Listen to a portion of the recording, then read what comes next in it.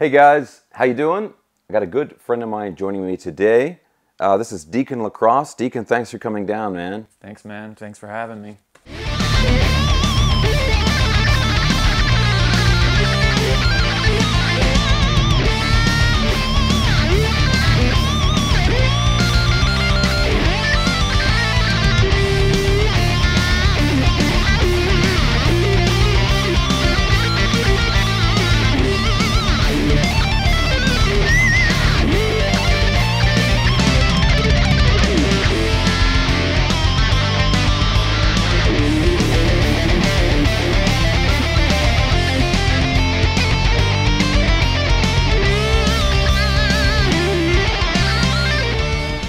Now, if you appreciate wine, you know sometimes you you get the scent of it. Does does the guitar have a scent at all? Because Well, that's the I mean- big thing of this guitar is the body is made from 150 year old wine barrels. They reclaim the wood and they use it to make the bodies on these guitars. And I mean, I think it contributes to the tone. But can you can you? Is there a wine? Well, I just smelled the wine. Okay.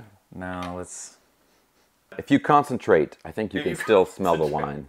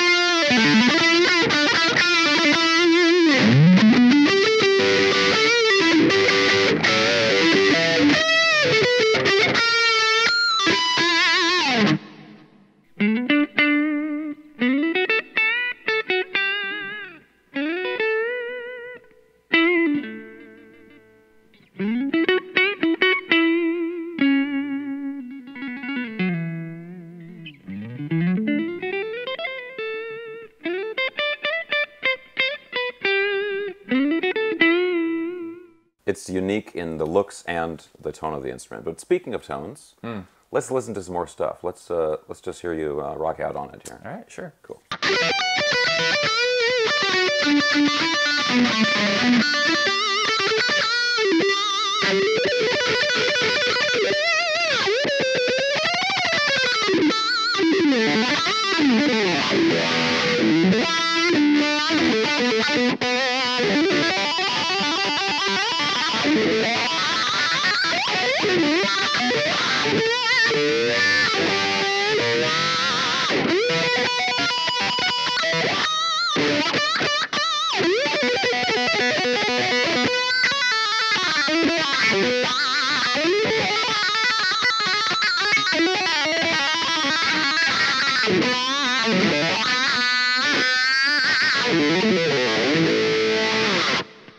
Well, let's have a little more wine, and then I want to play that guitar. All right.